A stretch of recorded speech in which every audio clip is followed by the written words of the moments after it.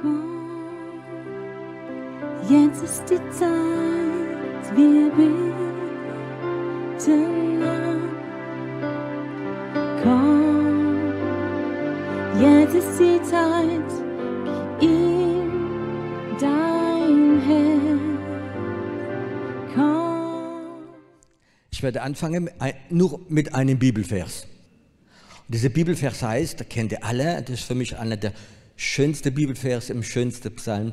Der Herr ist mein, mir wird nicht. Wow. Komm, mal sag es noch einmal. Der Herr. Wow, wow. Und weißt du, wenn ich ehrlich bin, ich bin 30 Jahre Pastor und bin viel gereist und in viele Länder und die Christen haben Mangel.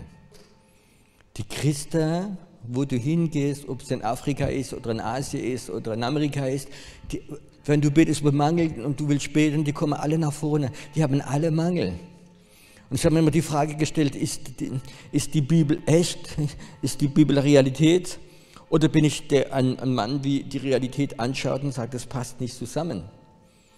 Und mich hat es interessiert, warum gibt es so viele Gemangel in der Gemeinde drin? Habt, interessiert euch das auch? Oder sagt ihr, wir sind die Ausnahmen, bei uns gibt es keine Mangel. Wir sind die gesegnetste Gemeinde, wie es gibt in der ganzen Gegend. Und ich habe mir die Frage gestellt, was ist falsch dran? Da fangen wir an, der Herr ist mein Hirte. Vielleicht liegt es am Herrn. Vielleicht kann ja sein, dass er gesagt hat, tausende Jahre Hirte sein ist langweilig. Ich bin jetzt ja, Steuerberater. Oder IT-Ingenieur, das ist modern. Glaubt ihr, dass Jesus sich verändert hat? Hat er seinen Job verändert? Ist Jesus immer noch Hirte? Seid ihr sicher? Jesus Christus, dasselbe gestern und in alle Ewigkeit. Ist okay? Jesus Christus ist der Hirte. Wenn es da nicht an der Hirte liegt, dann kann es vielleicht an der Schafe liegen. Hm. Jetzt komme ich da näher, gell? Aber ich gehöre auch dazu. Da liegt es vielleicht an der Schafe. Ich habe mal eine Erfahrung gemacht. Ich war in Frankreich in Urlaub und dann bin ich so schön in der Alpe rumgelaufen und dann kommt ein, ein, ein Hirte runter und der hat keine Schafe gehabt, der hat Ziege gehabt. Der hat 15 Ziege gehabt. Und ich bin als ehemaliger Geschäftsmann, habe mit dem Bild erzählt, gesagt, weißt du, ist das rentabel, ein Mann der ganze Tag wegen 15 Ziege? Das lohnt sich doch nicht. Ich, hatte, ich war kurz in Deutschland, in der Schwäbische Alb oben, habe ich einen Hirte getroffen und der hat 250 Schafe gehabt und zwei Hunde, alles. Und sagt, das ist profitabel. Aber einmal mit 15 Ziege, das kann man doch nicht bezahlen. Ich komme von der Geschäftswelt, ich bin kein Theologe. Und er sagte mir, äh, Sie haben keine Ahnung, mit 15 Ziege und einmal Land, da bin ich am Abend fix und fertig. Weißt du, du kannst 200 Schafe haben, die folgen dir nach. 15 Ziege an jeder Kreuzung, zwei rechts, zwei bleiben stehen, bleib, mancher gehen runter. Ich muss den ganzen Tag denen nachrennen. Und am Abend bin ich gestresst. Wenn ich 20 hätte, würde ich in die Klapsmühle kommen. Und bei mir hat es Klick gemacht. Könnte es sein, dass einige Christen mehr Ziege als Schafe sind? Oh, ich werde kein zweites Mal eingeladen, glaube ich. Okay, einmal ist besser als gar nicht, weißt du. Aber stell dir mal vor, du bist Pastor oder du bist Hauskreisleiter. Und das ist ein großer Hauskreis, vielleicht hast du 10, 12. Und da werden vielleicht sechs, sieben so Ziegechristen. Die folgen nicht dem Hirten, sondern die haben ihre Meinung. Und ihr kennt ja diese Ziegechristen, die haben ihre Meinung. Die gehen in alle Richtungen ein. Der Lobpreis ist zu lang, der Lobpreis zu kurz, es ist zu viel Englisch, es ist nicht genug Englisch, die Predigt ist zu lang, die Predigt ist zu kurz, es ist egal was. Sie sind immer so, sie sind wiedergeboren, das sind gerettete Ziege.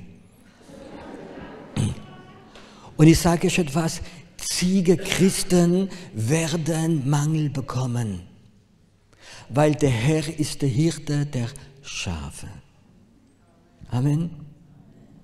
Ich werde heute über Tiere reden, über ganz viele Tiere. Ich, ich als 30-jähriger Pastor viele Tiere entdeckt, in Menschen drin. Es gibt Christen, die sind wie Igel. Kennt ihr Igel? Wenn du ein bisschen zu nahe kommst, so starrel, starrel, starrel, starrel. Und das sind vielleicht Christen, die vielleicht Ablehnungen, Verletzungen haben. Und dann haben sie diese Igelhaltung. Kommen nicht so nah. Und dann kommen sie zum Pastor, sagt Pastor, ich fühle mich nicht geliebt hier. Hm. Probier mal einen Igel zu küssen. Hat jemand von euch schon einen Igel geküsst? Hm. Da musst du dich wahrscheinlich behandeln lassen. Und dann gibt es diese Igelchristen, verstehst du, sofort die Stachel raus. Ich habe eine schlimme Kindheit, ich bin abgelehnt worden, mein Vater, mein Großvater, Urgroßvater, die Tante, der Onkel und, und Freimaurer und das und jenes kommen nicht so nah. Und weißt du was, ich sage etwas, die Igelchristen werden Mangel bekommen, weil Jesus der Hirte der Schafe ist. Wegen dem, wenn du so ein Stück Igel in dir drin hast, wenn du ein Stück Ziege in dir drin hast, bring sie ans Kreuz, mach sie weg. Und du wirst sehen, dass viele von deinem Mangel in deinem Leben weggeht. Viele Christen sagen, ich bin zu einsam, ich bin in der Gemeinde, mich liebt niemand, ich bin zu einsam. Pastor, du musst etwas machen. Weißt du, vielleicht muss eine zu mir kommen und sagen, ich bin zu einsam. Mich liebt niemand. Weißt du was, Schwester? Guck mal, ob du irgendwo Einsame findest in der Gemeinde, geh auf sie zu und du wirst nicht mehr einsam sein. So einfach ist das Evangelium. Ich habe ein ganzes Zoo mitgebracht, ist es okay? Es gibt Christen, die sind verkleidet in Wölfe. Und ich habe es erlebt, öfters wie Männer in die Gemeinde kommen oder junge Männer kommen. Und die sind ganz schnell fromm und sagen Halleluja und heben die Hände hoch und bete an. Und bei der ganzen Anbetung gucken sie, ob du junge, schöne Schäflein da sind, um sie zu knacken, aufzufressen. Ich habe es erlebt, dass auch Wölfe reinkommen oder kommen nur rein, weil sie ihr eigenes Ding machen wollen und wollen Leute rausholen. Und ich kann das sagen, diese Christen als Wölfe habe ich leider entdeckt. Es gibt andere Christen, da kann man vielleicht lachen drüber. So Charakterzüge, Stiere. Hm. Ihr kennt ja alle die Geschichte, wenn ein Stier eine Farbe sieht, wie er nicht mag, rot, dann sieht er rot. Hm. Hm. Und es gibt so viele charismatische Christen, die kennen das, verstehst du? Die sind die lautsten Halleluja-Leute, aber da drin ist noch der Stier. Und dann gibt es so manche Themen, wie rot sind. Und ich kenne das schon jahrelang. Es war so Zeit, wo die Salbe unter Kraftwirkung sehr stark war, wo Leute im Geist umgefallen sind und hat es richtig gegeben und hat es nachgemacht gegeben, alles Mögliche. Und wenn man diskutiert hat, ist das von Gott oder ist das nicht von Gott, dann ist bei manchen Leuten der Stier rausgekommen. Das ist nicht von Gott, das ist von unten. Nein, das ist von Gott. Und dann gibt es so viele Themen, wie man diskutiert hat. Impfen. Und manchmal, wenn man das Thema anspricht, da sind sie rot. Bruder, du bist geimpft, du wirst bestraft von Gott. Du bist nicht geimpft, wow, schäm dich. Und alles mögliche. Und plötzlich sind Christen rot. Was ist das? Das ist, dass sie nie gestorben ist. Und das ist nicht ein Stier. Und weißt du, wenn du geistlicher Leiter bist und hast Verantwortung und du hast ein paar so Stiere in der Gemeinde und du traust dich, manche Themen nicht mehr anzusprechen, da musst du dich nicht wundern, dass in Gemeinde viele Probleme und viele äh, äh, Mangel da sind. Und das verhindert, wenn die Gemeinde voller Schafe sind, so süße Lämmlein, ich kann das sagen, die Gegenwart wird kommen und die Mangel werden sich auflösen. Manche können wegen Theologie richtig Stiere werden. Es gibt andere Tiere. Rainer Bonk hat mal gesprochen drüber. Er gesagt, ihr Pastoren predigt nicht für die Giraffe, sondern predigt für die Menschen. Kennt ihr die Christe Giraffe? Die, die sprechen immer um drei Sprachen, Griechisch, Altgriechisch. Und du musst in der Predigt fünf Fremdworte reinmachen, sonst keine richtige Predigt. Und die haben öfters eine, äh, einen Doktortitel in Theologie und dann predigt man für, für Giraffe. Aber ihr seid keine Giraffe-Gemeinde, glaube ich, gell? Oder habt nicht so viel Giraffe hier. Jesus ist nicht gestorben für die Giraffe, sondern für die Schafe. Stimmt das? Und ich kann das sagen, die Giraffe-Christen und die Giraffe-Prediger, die werden Mangel haben in ihrem Leben drin. In Heidelberg vor einige Jahre gab es einen Pastor, einen Mann, ich kennengelernt gut, und der war Student, äh, hat ein großes Studium gemacht. Und dann hat er Gemeinde angefangen. Und dann hat er mir gesagt, was sein Wunsch ist, was er für Leute möchte in seine Gemeinde. Akademiker und so müssen sie sein und dieses Alter haben und das und haben und interessant und da hat er total beschrieben, was er sich wünscht und hat gesagt, das bete ich auch, so möchte ich eine Gemeinde haben. Jesus ist für alle Menschen gestorben. Verstehst du? Ich habe manchmal auch so Gedanken, ich erzähle euch mal eine Geschichte. Ich habe mal in, in, der Stadt Zinsheim einen Heilungsgottesdienst, Heilungsgottesdienst in Zinsheim gemacht, in der Stadthalle. Und es hat sich rumgesprochen, es kamen viele, viele Leute. Und dann mache ich einen Aufruf am Ende und dann kommen fünf Menschen nach vorne, für etwas ganz Präzises, haben ihr Leben Jesus gegeben. Und es war interessant, weil der, der wie ganz vorne war, das war ein riesiger Geschäftsmann mit 7000 Angestellten. Das war der Herr Krohe von der Wasserhahn, glaube ich, vom Schwarzwald irgendwo hier. Und nebendran war eine Dame, die war Ärztin. Und dann war ein Mann, da war ein ja, normaler Angestellter. Und da war ein Junge dabei, der kam früher vom Knast und der hat Droge genommen. Und ein Zigeuner. Hm, die ganze Palette sind die Roma, war da vorne. Und ich sagte, Herr, und die waren alle krank. Und ich sagte, Herr, ich kann dir einen kleinen Rat geben, wer du heilen könntest. Hm, weißt du, wenn du einen Millionär heilst, hm, da kommt in die Gemeinde viel Geld rein. Weißt du? Und, und Herr, die Ärzte wäre auch nicht schlecht, der könnte gut evangelisieren. Und Herr, wenn ein bisschen von der, ein bisschen übrig bleibt von der Salbung, kann, der könnte auch noch heilen da. Und wenn, natürlich darfst du alle heilen. Aber ich habe so ein paar Tipps gegeben. Ja, und weißt du, wer geheilt worden ist? Der auf den Knast kommt und der Zigeuner. Unheilbar krank gewesen, geheilt werden. Ich habe gesagt, Herr, du hast dich geirrt. Du, wie beim David, die große, der Prophet hat die große gewollt und die starke gewollt und hat die kleine David müssen nehmen. Wir sind halt menschlich, aber göttlich ist nicht menschlich. Ich werde weitermachen mit einigen Tieren. Es gibt Christen, die benehmen sich wie Wildschweine. Ich weiß, bei euch gibt es keine. Aber wenn du die hast in deinem Hauskreis, in deinem Gebetskreis, ich kann das sagen, es ist stressig. Ja, die haben nicht gelernt, wie ein Schaf zu sein. Sie sind Christus, sie sind wiedergeboren, aber da drin ist dieses Wildschwein immer noch drin. Und wir als geistliche Leiter, ihr habt wahrscheinlich keinen Waffenschein, gell? Da dürft ihr nicht erschießen, da müssen wir sie leben lassen. Ich frage immer mal. Könnte es möglich sein, dass die Wildschweine Angst bekommen, gerade jetzt?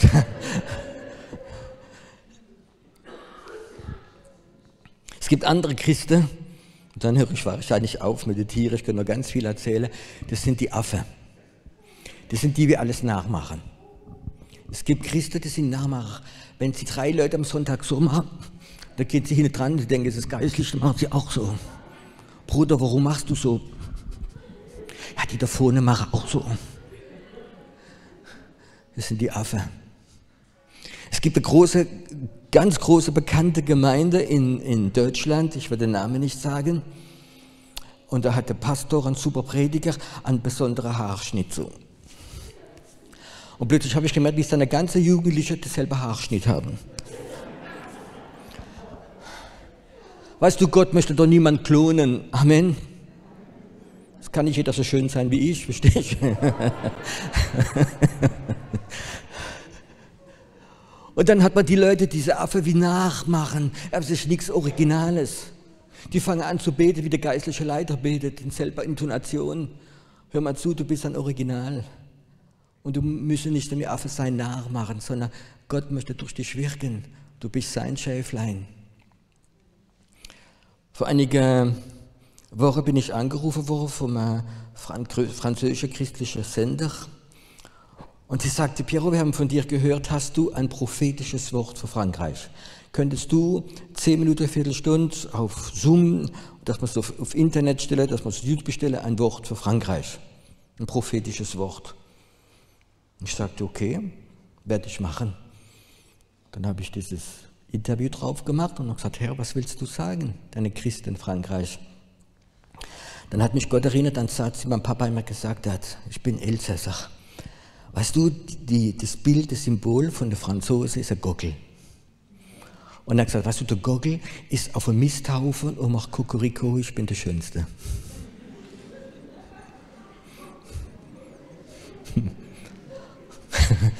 Und dann habe ich das weitergegeben. Ich wohne ja in Deutschland, ich habe kein Risiko, weißt du. Dann habe ich gesagt, weißt du, das ist der Charakter vom Franzosen. Ich bin ein Vermisthaufen, auch Kukuriko, ich bin der Beste, ich bin der Schönste. Und der Herr sagt jetzt zu Frankreich, ich werde keine Erweckung geben für die Gockel, sondern für die Schafe. Wenn diese Gockelhaltung nicht weggeht, wird es die Erweckung bremsen. Ich habe vor ein paar Minuten etwas darüber gesagt. Und ich habe jetzt in Paris auf diese Sender draufgestellt. Wisst ihr, was das Ergebnis war? die letzten drei Jahre Zeit, dass es diese Sender gibt, bin ich Nummer eins drauf. So viel Klick hat keiner bekommen. Man muss manchmal aufhören, die Leute zu streicheln, sondern muss das sagen, was Gott aufs Herz legt. Ich habe entdeckt, dass die Gemeinde Jesus, und ich gehöre zu der Gemeinde Jesus, wir haben öfters Mangel, weil wir keine Schafe sind. Weil wir alle andere Tiere in uns haben, aber diese Schafe nicht mehr.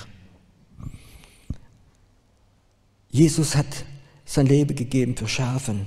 Und ich habe mir die Frage gestellt, Herr, warum kommen diese Tiere wieder raus, auch bei Christen, die 20, 30, 40 Jahre gläubig sind? Hm. Denk jetzt nicht an den Nachbar, wenn er bei dir sitzt, denk an dich selbst. Nicht, dass du mal nach Hause gehst, ich sehe, der Pastor hat für dich gepredigt. Ja, von Ziege. Die Frau sagt, nein, er hat auch Böcke gemeint. Sondern es ist immer so wichtig, dass wir uns selbst anschauen.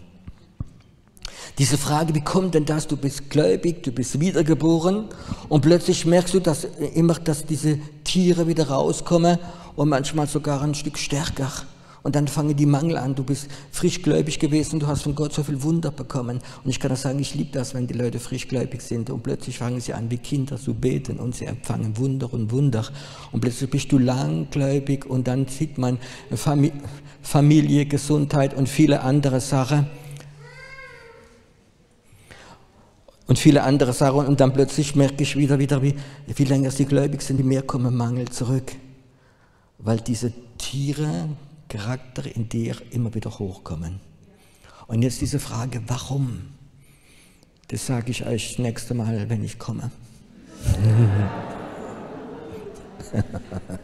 Nein, okay.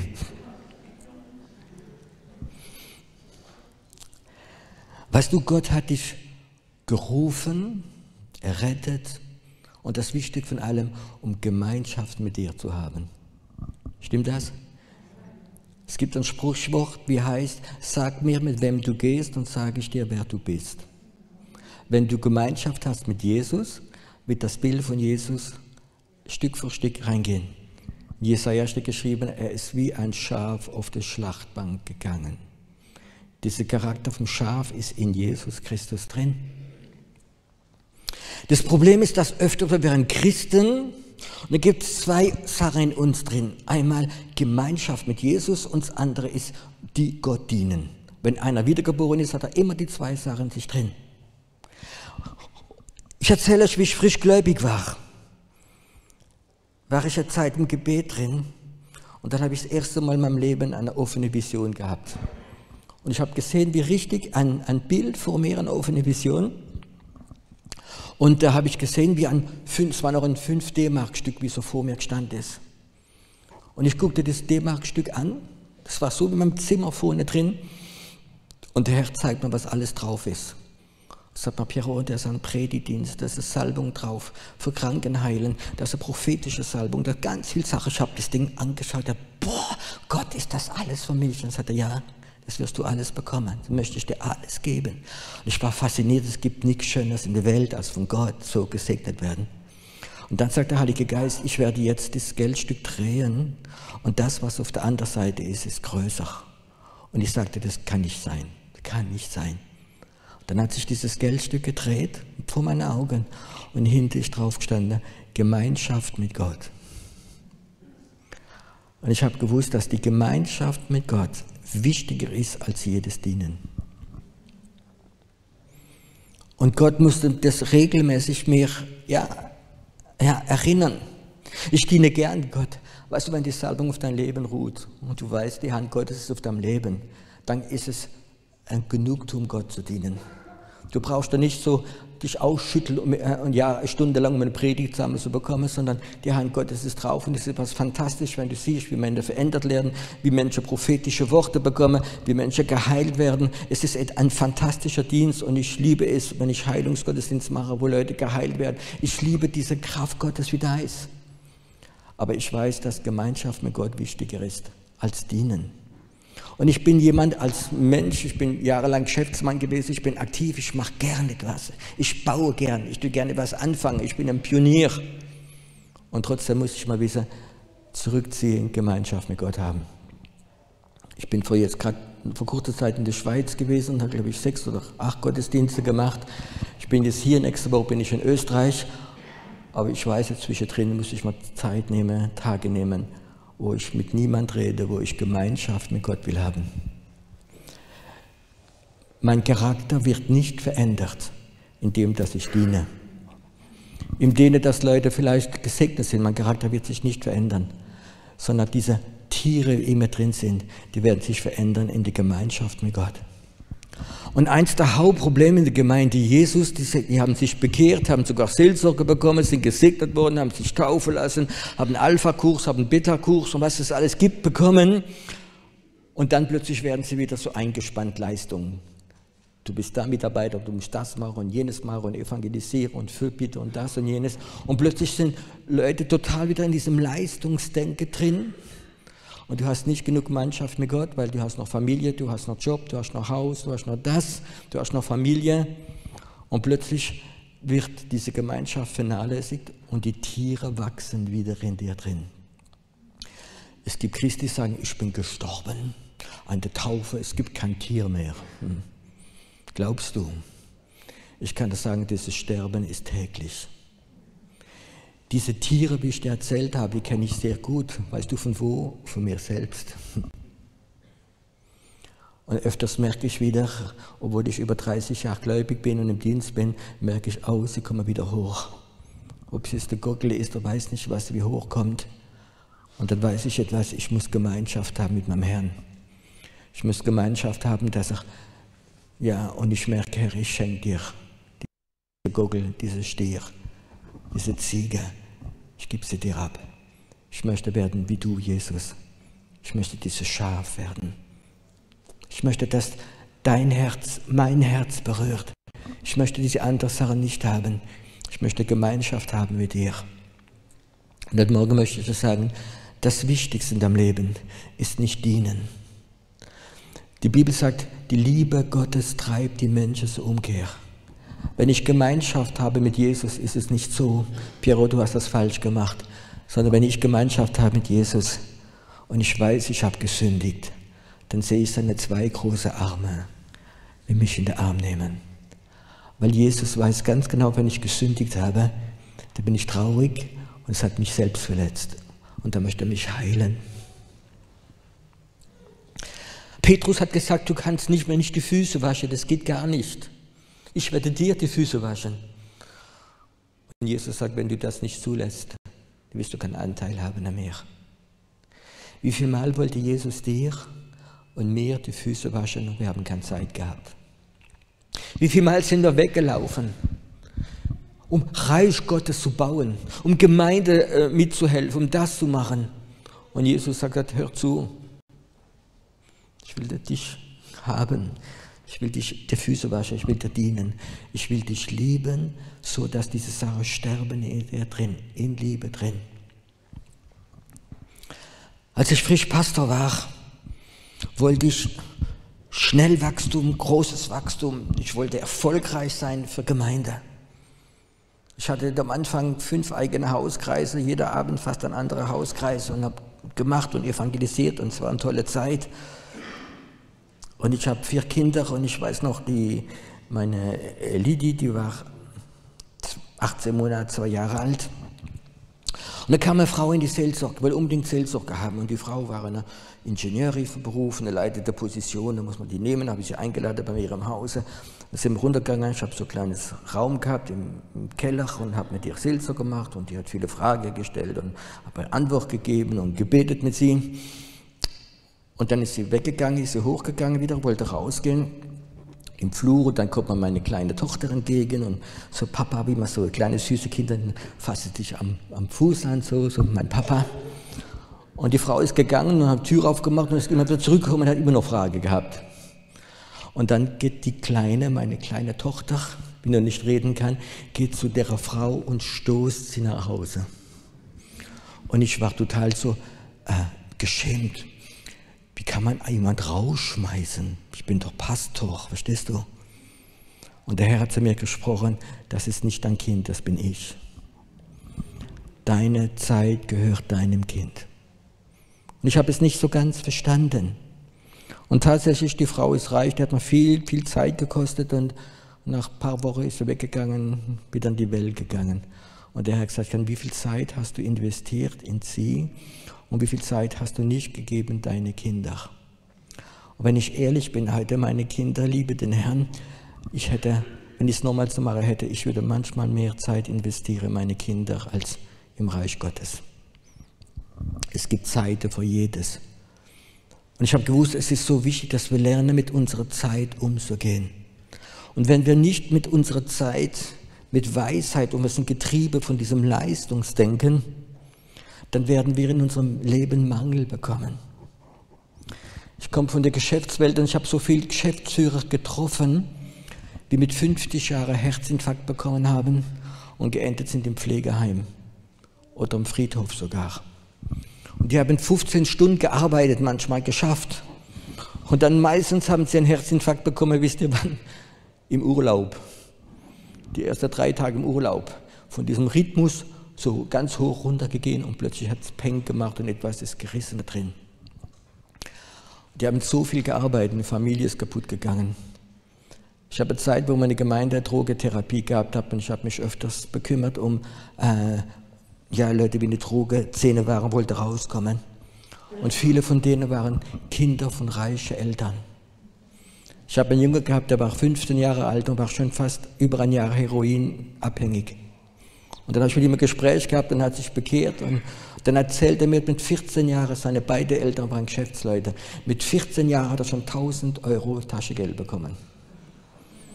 Die Eltern haben keine Zeit gehabt, und die wollten die Liebe zeigen, haben Geld gegeben, aber haben keine Zeit gehabt für ihn. Und dann, weißt du, wenn du 14 Jahre bist und du hast 1000 Euro Taschengeld, dann hast du viele Freunde. Aber die falsche. Und die haben ihn mitgezogen.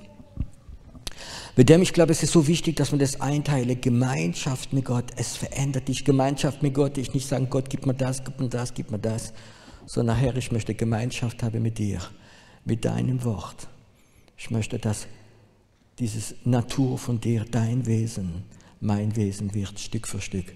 Und dass diese Tiere wie immer wieder aufstehen wollen, keine Chance haben, die werden klein gehalten. Vor ein paar Wochen habe ich, für die, die diesen Kanal kennen, Taube oder Taubereise, habe ich gepredigt über Verbrenne deine eigene Ratte. Das ist ein toller Titel für eine Predigt. Hat über 20.000 Klick bekommen. Weil ich glaube, das ist etwas, wenn wir predigen, praktische Sache für die Leute. Und ich glaube, es ist so wichtig, dass wir wieder erkennen die Zeit, dass wir nicht in das Leistungsdenken kommen. Ich bin jemand, wie geprägt ist von Leistungsdenken. Und der Herr hat zu mir gesagt, Piero, glaubst du, dass wenn ich will, in einem Tag mit dir, durch dich, mehr machen kann, das, was du in den letzten 30 Jahren gemacht hast? Und habe ich gesagt, Herr, du hast recht, ich verstehe es. Tut mir leid. Du willst mich haben. Nicht ich, sondern du willst das machen. Durch mich, aber im richtigen Zeitpunkt, im richtigen Moment. Ich glaube an die Verheißung, der Herr möchte alle Mangel ausfüllen, alle. Nach dem Reichtum seiner Herrlichkeit. Aber er möchte nicht die Tiere in uns segnen, sondern er möchte, dass wir wieder Schafe werden. Und er wird unser Hirte sein. Und er wird unsere Mangel erfüllen. Er wird sie alle erfüllen. Hast du Sehnsucht danach? Hast du Sehnsucht danach, diese Hirte zu spüren und du bist wie ein Schaf? Du bist wie ein Schaf und du wartest drauf, dass er dein Herz berührt, dass er Gemeinschaft hat, dass er das Schaf wieder trägt. Es gibt so schöne Geschichte, wie ich gehört habe. Es gab einen Hirte, der hatte große Herde gehabt und es war ein junges Schäflein dabei. Die war, das war nicht wie die andere.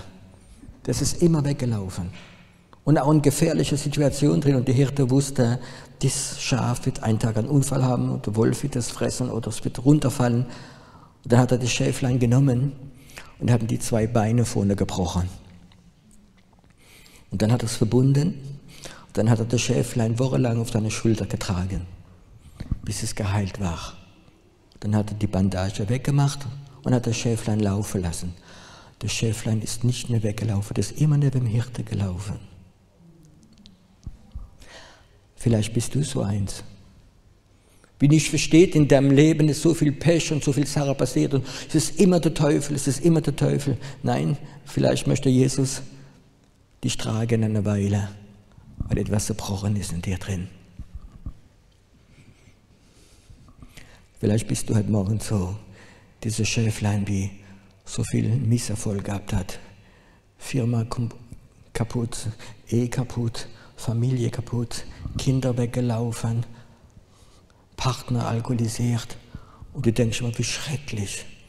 Und Gott sagt, hör mal zu, komm zu mir. Ich möchte dich tragen, eine ganze Weile. Hör auf zu kämpfen, hör auf zu machen, ich möchte dich tragen.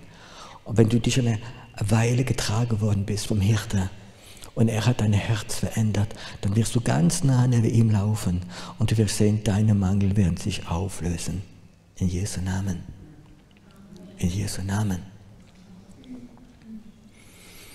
Ich möchte im Moment beten. Vielleicht gibt es etwas in meiner Predigt, wie dich getroffen hat. Vielleicht gibt es ein Tier, oder vielleicht hast du gerade die Erkenntnis bekommen, stimmt, ich bin wieder in dieses Leistungsdenken reingekommen. Ich habe ein Stück meine Kinder verloren, meine Familie verloren. Ich bin in das Leistungsdenken gekommen. Aber ich möchte heute, ich möchte jetzt ganz nah zu Jesus kommen. Ich möchte mich lieben lassen. Ich möchte mich tragen lassen von ihm. Ich möchte sein Herz wieder spüren.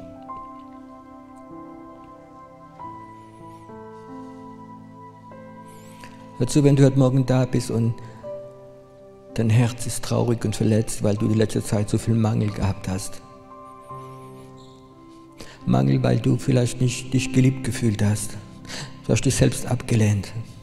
Du hast dich nicht würdig gefühlt. Heute Morgen sagt der Herr, ich möchte dein Herz heilen.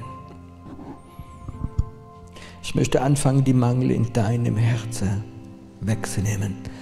Ich möchte anfangen, heute Morgen ganz neu dein Herz zu lieben. Wo deine eigenen Tiere dich verletzt haben, die du dich angeklagt hast.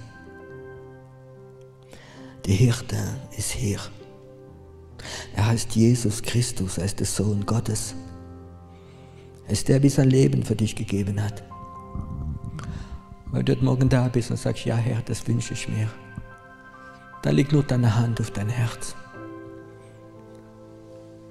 Diese Hirte möchte dein und mein Herz heilen.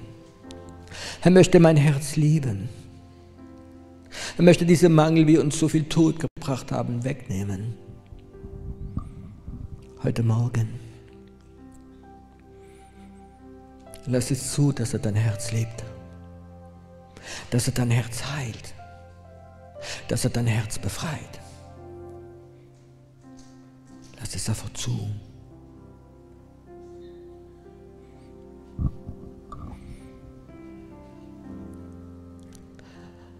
Vater, lass es, dass deine Kinder, deine Gemeinde geheilt wird. Herr, dass dieses Lamm, dieses Lamm Gottes unseres Vorbild wird. Das Lamm, wie bis auf die Schlafschachtbank gegangen ist, ohne zu schreien, ohne sich zu wehren. Lass es in uns kommen wieder. Lass es kommen. Herr Jesus, wir wollen keine Religion, wir wollen dich haben. Wir wollen dich haben. Wow. Hm. Komm, atme es gerade ein. Seh, wie der Friede Gottes kommt. Und jede Form des Stresses, wie dich so müde gemacht hat, soll weggehen von dir. Es soll weggehen von dir. Es soll weggehen.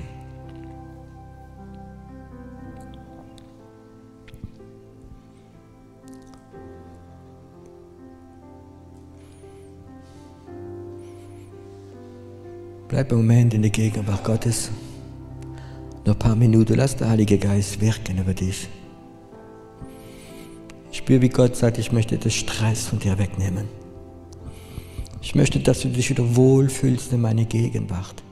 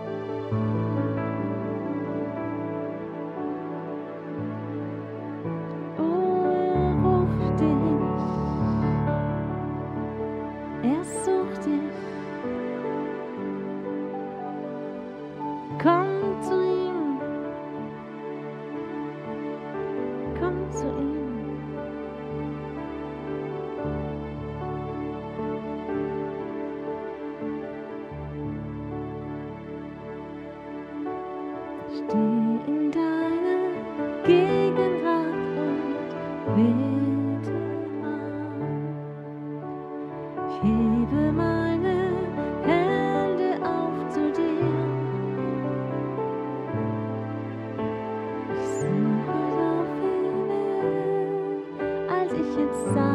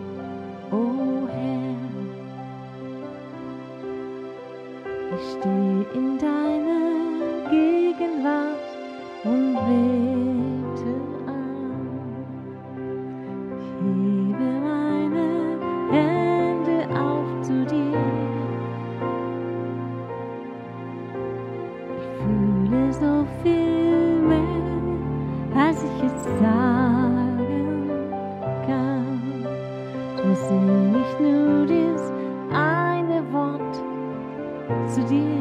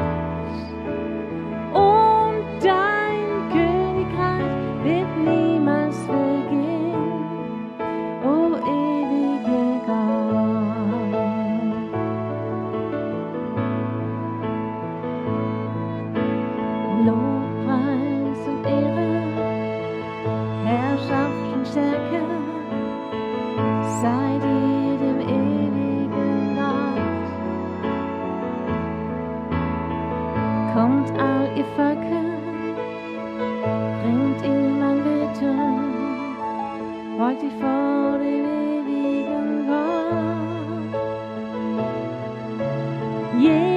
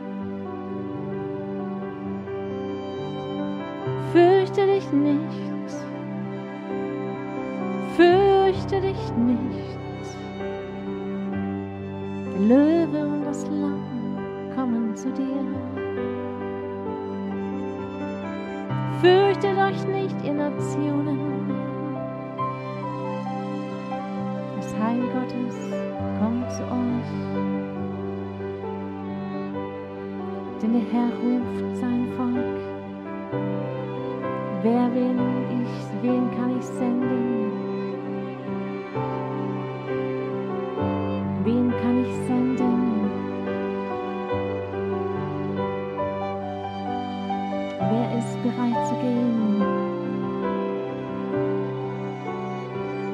Oh, ich rufe eine Armee Gottes, eine Armee des Herrn. Oh, Herr ruft seine Armee, seine prophetischen Fürbitter. Der Herr ruft seine Fürbitter, seine prophetische Armee.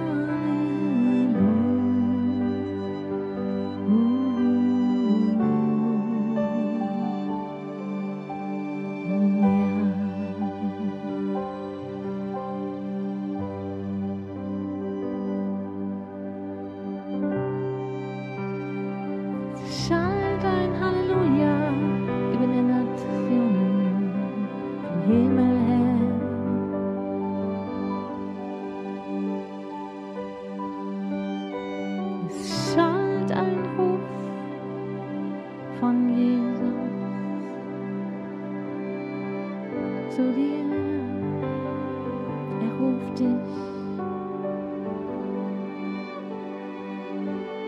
Ruf dich bei seinem, deinem Namen und sagt, du bist wertvoll für mich. Du bist mein.